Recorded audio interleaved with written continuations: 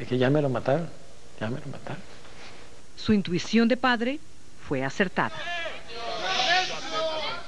El señor licenciado Luis Donaldo Colosio, candidato del Partido Revolucionario Institucional a la presidencia de la República, ha fallecido. A las 7.45 de la noche del 23 de marzo de 1994, un manto de luto oscureció México y un asesinato político sacudió los cimientos de los mexicanos. Ese 23 de marzo no solo dejó de existir un hombre, sino para muchos mexicanos murió la esperanza de que él cambiara el destino de su país. Pero yo, que tuve la fortuna y el privilegio y la bendición de Dios de acompañarlo, de formar con él una familia. Y Ana Laura Riojas, viuda de Colosio, cuyo cáncer de páncreas seguía consumiendo su cuerpo, sabía en ese momento que sus hijos quedarían huérfanos. Yo creo que, que fue una tragedia nacional.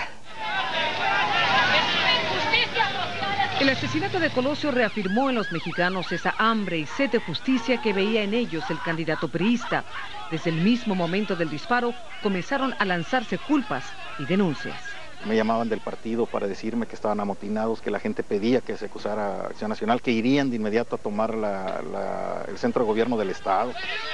En primera instancia fueron detenidos el joven, identificado como Mario Aburto, y otros dos sospechosos, Vicente Mayoral, por haber sido señalado por Aburto como el autor del crimen, y Jorge Antonio Sánchez Ortega, porque tenía una mancha de sangre de Colosio en su chaqueta y un leve parecido a Mario Aburto. Nos llevaron allá a la PGR y ahí fue donde vi yo a, a Sánchez Ortega que se parece, parece a Mari y ahí lo tenían. María Luisa Aburto, madre del principal sospechoso, también fue detenida. Nos esposaron a mi cuñada, a mi cuñado y a mi hermana y a mis sobrinos. Nos llevaban esposados de los pies y de las manos, que nos iban a matar si no, iban si no les decían dónde vivía yo. María Luisa y Rubén Aburto dicen que su familia fue humillada y amenazada y niegan rotundamente que su hijo haya sido el culpable de la muerte de Colosio. No, no, mi hijo no disparó. Yo vi cuando le dieron el balazo. estaba caminando al lado de él? Yo iba a un lado de él. Yolanda Lázaro, la militante priista que caminaba detrás de Colosio después de los discursos, asegura que el que disparó es Mario Aburto. Yo vi un flashazo. O sea, yo miré, yo pensé que era una cámara, porque uno va pues caminando y no, no va uno a ver un asesinato ni nada de eso. ¿Usted está segura que fue Mario Aburto, el hombre que está en la cárcel? Sí, porque, sí, porque yo me peleé con Aburto desde, desde temprano. ¿Y por qué se estaba peleando con Aburto? porque él estaba callando a la gente para que no gritara Colosio. Sin embargo, lo que el doctor Parcero recuerda de ese momento es otra cosa. Lo tuve enfrente de mí y es un rostro que jamás en mi vida se me va a olvidar. Lo llevo grabado en mi mente, en mi, en mi pensamiento, porque lo tuve cerca. ¿Y esa persona que usted vio, quien supuestamente disparó contra Colosio, es la misma persona que está detenida en Almoloya? Al volver, y ahora continúa. Entre los rumores y conjeturas que surgieron después del asesinato de Colosio, se decía que en la escena del crimen había no uno ni dos, sino hasta siete mariaburtos o personas que se parecían a él. En este momento hay solo uno y se encuentra en la cárcel de Almoloya, en México. A continuación, escuchamos su versión de los hechos. Entonces, al tiempo que voy a caer, se puede ver el movimiento que hago este aquí. Con lujo de detalle, Mario Aburto Martínez muestra cómo le quitó la vida a Luis Donaldo Colosio. Se activa el arma, se activa el arma. Así lo relató en una recreación de los hechos en la prisión de Almoloya. Pero ni su propia confesión ha logrado apaciguar las dudas de quienes aseguran que Mario Aburto no es la misma persona que le metió un balazo en la cabeza a Luis Donaldo Colosio. Yo vi el rostro del que supuestamente disparó y no es el mismo que presentaron en la televisión. No es Mario Aburto. Para mí no es Mario Aburto. Su padre coincide. Mi hijo nunca se mira cerca de Colosio, nunca. Son otras personas las que se miran. Rubén Aburto dice que su hijo le aseguró que lo obligaron a confesar a base de torturas. Le vendaron los ojos y que le pegaban, ¿verdad? Que lo, y que tú te tienes que echar la culpa. Esta foto fue tomada segundos después del disparo. Se tomó esta foto cuando a ti te detuvieron. Y nada más queremos que nos digas si este eres tú. Sí, soy yo, señor.